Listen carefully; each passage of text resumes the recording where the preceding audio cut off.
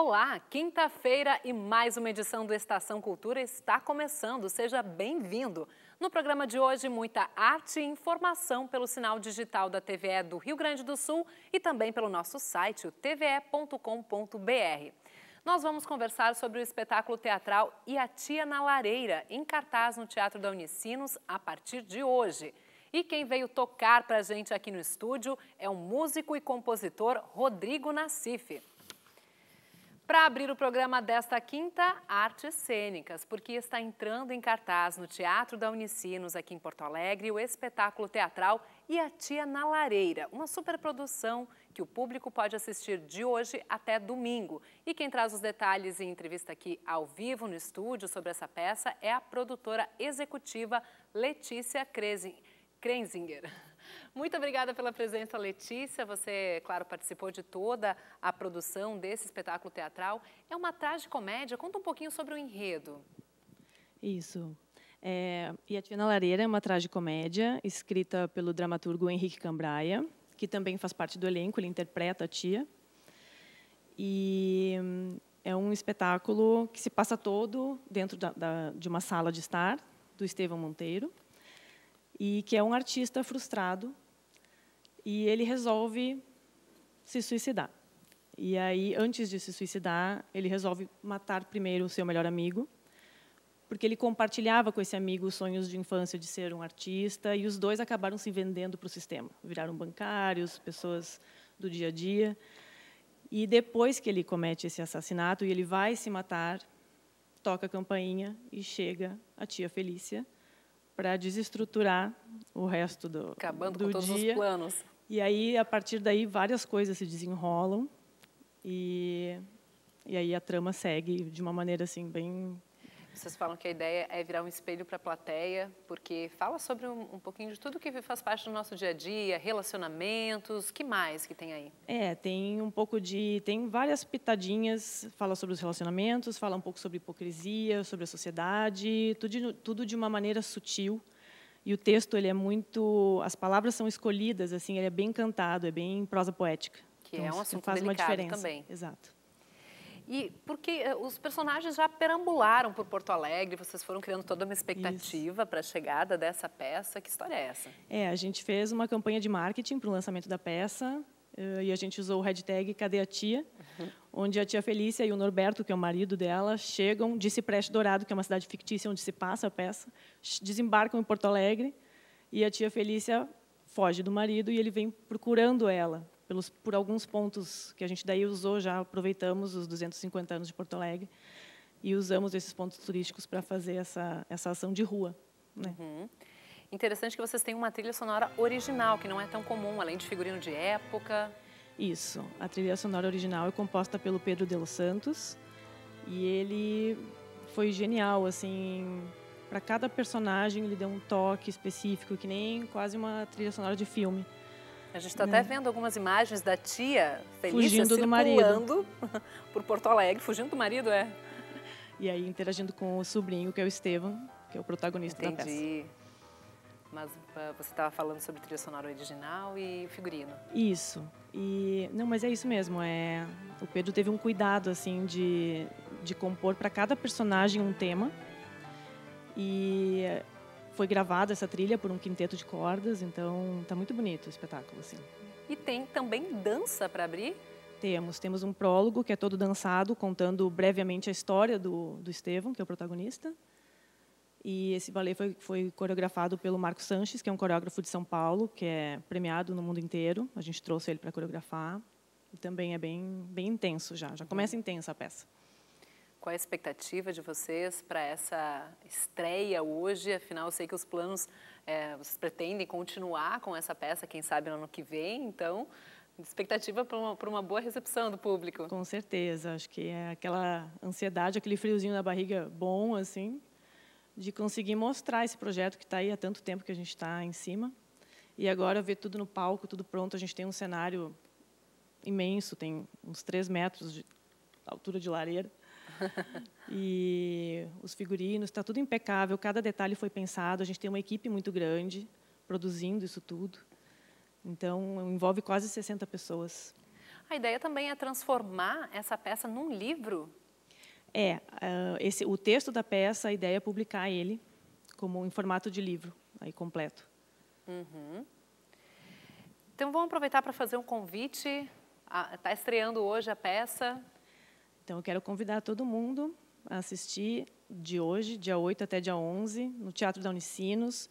Os ingressos através do site iatinalareira.com, é, na plataforma Eleven Tickets, ou na bilheteria do teatro também, duas horas antes um, do espetáculo. Só para a gente encerrar, o que, que você espera, vocês esperam passar como mensagem para o público, deixar como reflexão a partir desse espetáculo? Eu acho que é isso mesmo que a gente comentou antes, de aquele grito sussurrado ficar na cabeça da pessoa e a pessoa saia pensando em algumas coisas, talvez que não tenha se dado conta na hora, mas que depois a ficha vai caindo. Refletindo sobre sua própria vida. Exato. Certo. Muito obrigada, Letícia, então, pela entrevista. Eu que agradeço. Sucesso com o, a peça. Muito obrigada. Uma ótima estreia. Obrigada. Do teatro, a gente vai agora para o nosso momento musical aqui no Estação Cultura. Hora de ouvir a primeira canção com o músico e compositor Rodrigo Nassif.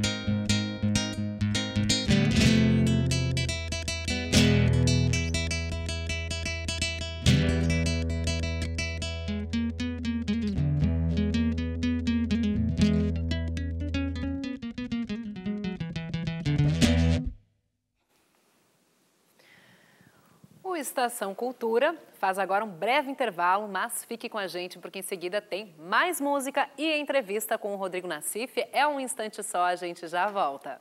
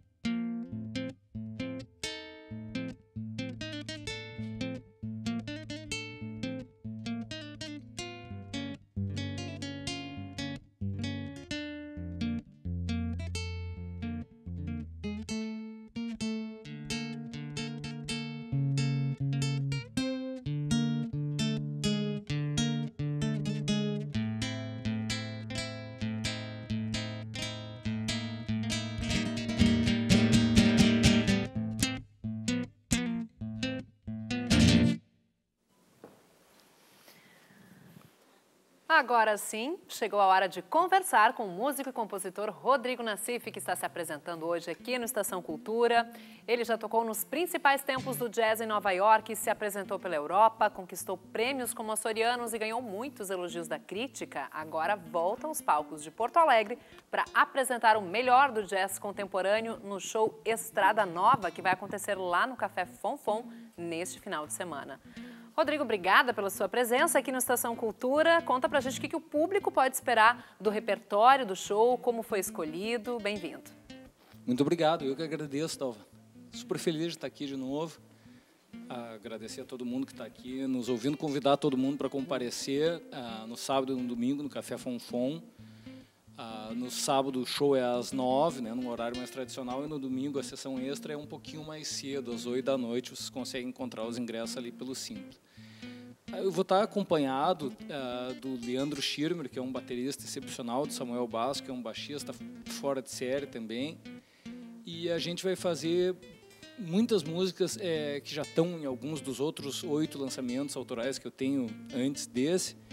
E a gente vai tocar músicas do projeto Estrada Nova que foram compostas durante o período da pandemia em lives nas redes sociais do dia 8 de março até o dia 8 de maio de 2020. E uh, foi engraçado porque a, a princípio uh, eu tinha voltado de uma turnê muito legal uh, em alguns dos lugares super conceituados em Nova York, como Shapeshifter Lab, que o, o proprietário é o Matthew Garrison, ele também é o curador do espaço e ele é um, uma lenda do jazz como baixista, ele mesmo. Então, poxa, uma coisa assim, um momento de extrema felicidade, assim, realização. Poder estar com um cara desse, assim, aprovando teu show no espaço dele e estar na plateia. Então, e aí, quando veio a pandemia, eu tomei um susto, porque a agenda seria a melhor que eu já tinha na minha vida inteira. E, e aí a gente teve que se refazer em questão de dias. E como eu estava muito motivado, eu resolvi é, criar no primeiro dia que eu sabia que ia ter quarentena esse projeto de lives. Eu não sabia que era uma coisa tão cansativa, senão eu tinha feito com alguns dias de intervalo. Mas eu prometi para o povo, uh, é, para o povo, eu prometi para as pessoas que estavam assistindo as lives 60 dias de lives consecutivas todos os dias. Nossa! E então eu fiz dia, dois meses, cumpri. Cumpri, assim, as últimas 15 estava com o olheiro embaixo, assim, e aí live total mesmo, oficina do capeta, né? Era eh, sinal da, da, da, da, internet que desabou um dia, outro dia o vizinho tinha que bater na porta, porque a gente não podia sair de casa e ele tinha que passar um recado de algum modo, então, assim... Percalços, né, é, de quem live, faz live de casa. Live total mesmo. Uhum. E, uh, verdadeira, né, live. E aí a gente conseguiu gravar ao vivo e, foi viabilizado através do crowdfunding. Eu me surpreendi positivamente com, com o alcance e me surpreendi positivamente com o entusiasmo do pessoal. Eu ia explicando o processo criativo, como é para compor. E logo em seguida, é, a gente fez é, o projeto então de gravação do Estrada Nova. Assim que surgiu Estrada Nova, então, que agora vai virar vinil, inclusive. Já virou um vinil super lindão, transparente, 180 gramas, capa dupla, item de colecionador, que foi viabilizado uh, pelo terceiro crowdfunding consecutivo que eu fiz entre 2020 e o comecinho agora de 2022. E, Rodrigo, esse título Estrada Nova faz referência a uma nova fase na tua carreira, e que fase é essa? É, eu tenho agora, pela primeira vez, é, duas pessoas que estão trabalhando comigo, quero já, desde já agradecer a elas, a Jaqueline Sangalo e a Andrea Doria, e a gente está trabalhando com uma distribuidora internacional pela primeira vez, que é a Virgin. Então, elas é, conseguiram agora, pro, tanto para o Estrada Nova quanto para o outro, que já está gravado, que se chama Pegando Estrelas, que é uma homenagem para uma espécie de homenagem, uma citação para o meu hum. bebê que tem um aninho, que é o ah. Johan, e aí é, o, o, disco é um EP que se chama Pegando Estrelas, então uhum. a gente uhum. tem esses dois materiais que ainda estão inéditos que vão começar a ser distribuídos em breve. E o título Estrada Nova se dá porque eu, eu, eu, eu faço uns planos assim de leitura então, eu fiz, por exemplo, um plano de leitura do, do, de 2019 até o começo de 2020. Eu queria ler só autores gaúchos. E daí eu, eu comecei com o Medalhão, com o Érico Veríssimo, e fui indo, fui indo, e acabei no Ciro Monteiro. E aí o último livro que eu li se chamava Estrada Nova. E aí eu li vários. Do, um mergulho do... na cultura gaúcha, então, literatura gaúcha. É, eu, eu, eu tenho várias músicas, eu, inclusive o disco que ganhou o Açorianos, ele tem quatro músicas que homenageiam o Gabriel Garcia Marques, os personagens de 100 anos de solidão. A tua inspiração vem dos livros também? Como é que tu compõe? Muita, é, é muita da inspiração é, é por conta da literatura, porque é, eu trabalho com música há um tempo considerável, mas eu não compunha. E logo que eu terminei o mestrado em performance na Argentina, estudando um repertório de coisas muito complicadas e nada era autoral, eu me envolvi com a leitura do pela primeira vez do Gabriel Garcia Marques e esse livro foi como se tivesse aberto uma represa, soltado um, um, um, muita vontade de compor que estava toda represada e talvez porque o compositor ele está sempre dando a cara a tapa, né? Tu não pode ter medo que as pessoas não gostem da tua composição, tu tem que simplesmente desapegar daquilo. Então, é um, é um, um o, o, sentimento em relação à, à, composição ele é um pouco contraditório, porque ao mesmo é, é, é, é difícil ser um bom intérprete, mas tem um lado que é muito menos exigente emocionalmente, porque quando tu está compondo, tu não tem como colocar minhas verdades, não, não existe isso, né? Tu precisa eh, entrar inteiro e de modo integral naquilo que tu está fazendo. Uhum. Então, é, é, é, exige que tu se dispa dessa vaidade para poder compor, né? O resultado o público pode conferir nos shows desse fim de semana, uma palhinha, então. Faz convite para todo mundo comparecer. Por favor, é, os ingressos estão pelo Simpla unicamente, vocês podem acessar a plataforma Acredito que não, não, não devam ter sobrado muitos ingressos, porque os ingressos é, estão concorridos. É, para o sábado foram bastante rápido e a gente sabe que o Café Fonfon é um templo da música em Porto Alegre.